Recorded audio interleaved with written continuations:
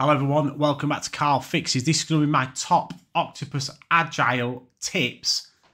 And we're going to get straight into it with tip number one would be to download an app that shows you the price per 30 minutes in graph form like this so you can see what is going on and it will also give you a comparison to another tariff like Octopus Tracker to see if you are saving money on Agile. So this is Octopus Compare on my Android device. I don't know if it's available on iOS, but there will be other apps available that are similar on there.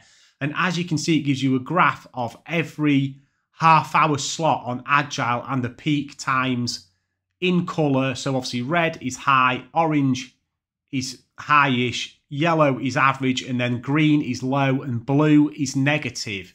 Obviously, there's no green and blue today. It's not a great day for Agile. It's all 20p and above.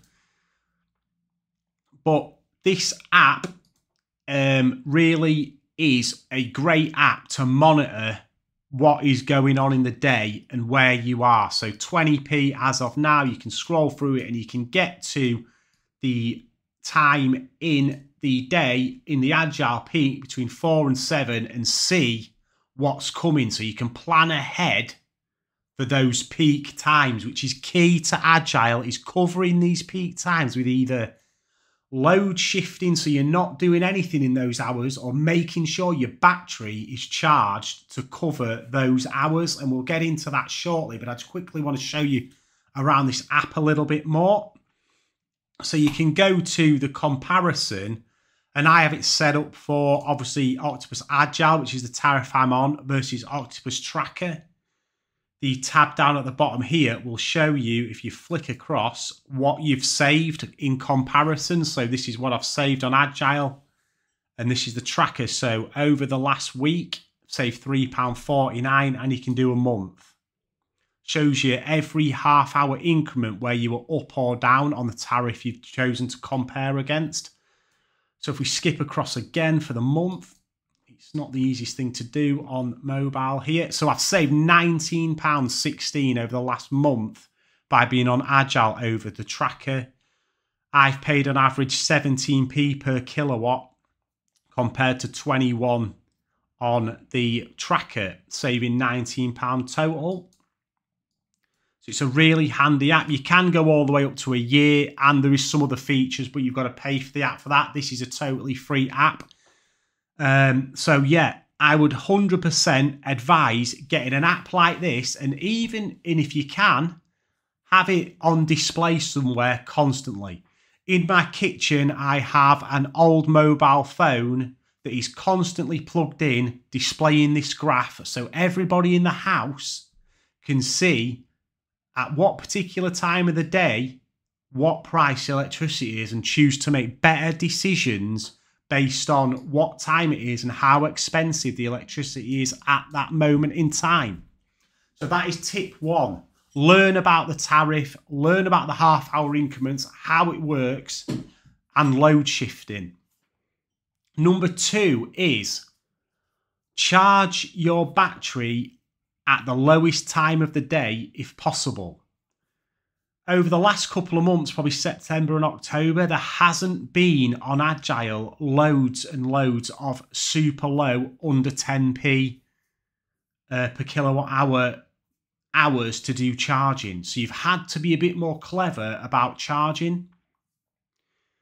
One thing about Agile is it doesn't guarantee you the 6, 7, 8p rates overnight that say maybe um, IOG or um, the heat pump EV um, tariffs will give you. The industry, or uh, uh, especially Octopus, seem to have moved away from if you've just got solar and battery, being able to get on a tariff that guarantees you a 7 8p overnight rate. Those seem to be saved now for people with heat pumps and EVs. Um, so you've got to be a bit more clever about when you use the agile. But my top tip would be if you see it under 10p, charge your battery 100%, force charge your battery. But don't be afraid in months like we've had in October, where the average price is 17, 18, 19p to charge at 12, 13, 14p. Because even at those rates, you're still saving compared to the higher charge throughout the day. And I would even go further than that. So, this is my tip number three, which I don't hear anybody talking about on Agile. And it especially is um, applicable to people like myself with a small array. So if you've got a five kilowatt array, maybe up to 10 kilowatt hour battery that won't last you all day if you charge it to full overnight and there's no sun to top it up, it won't last you all day.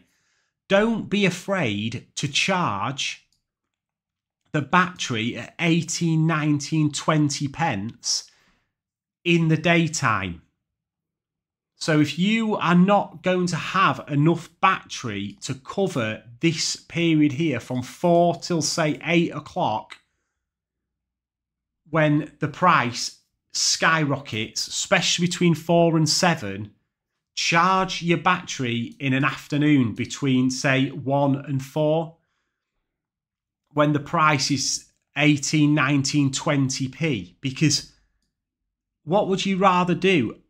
Force charge your battery at 20p or not charge it and pay 40, 50p. I think there's a stigma in the solar charging, battery charging industry that I see because I'm in quite a lot of Facebook groups and watch other videos and things that we have it in a mindset that we must only charge under 10 pence. But if you're charging at a rate less than the rate you're using, it's still applicable. So if your battery, for example, you know for a fact that you're on a high usage day or your battery will not last till four, charge here at 1920p to make sure you're covering this period of time. So you're not going in and cooking and things like that at 50, 60p rate on Agile. Hopefully, in the winter months to come, these rates will drop and we'll see more negative and lower prices as the weather gets worse and the wind gets up. I think September, October have been semi steady weather in England where it's been cloudy and not particularly windy, and most of our electricity is generated by wind in the UK. So, if there is no wind, and obviously it's later in the year, there's not a lot of sun, the prices on Agile are more expensive. So, as the year goes on, we should see the prices creep down a little bit with the increased wind that we will see over the winter months. But those are my three tips for Agile. One, monitor. Two, charge when the prices are very cheap. And three, don't be scared to charge when the prices are higher if you haven't got the battery to cover the highest periods please let me know in the comments. Give me any more tips that you've got about using Octopus Agile down there in the comment. I will have a referral code if anybody wants to move to Octopus or Octopus Agile in the description. You'll get 50 quid, I'll get 50 quid. So it's a great deal if you want to use it. Please click the link and use that if you want and like and subscribe. It would do me huge favours. You can keep up with my journey on solar um, and how it's going. Thank you very much and goodbye.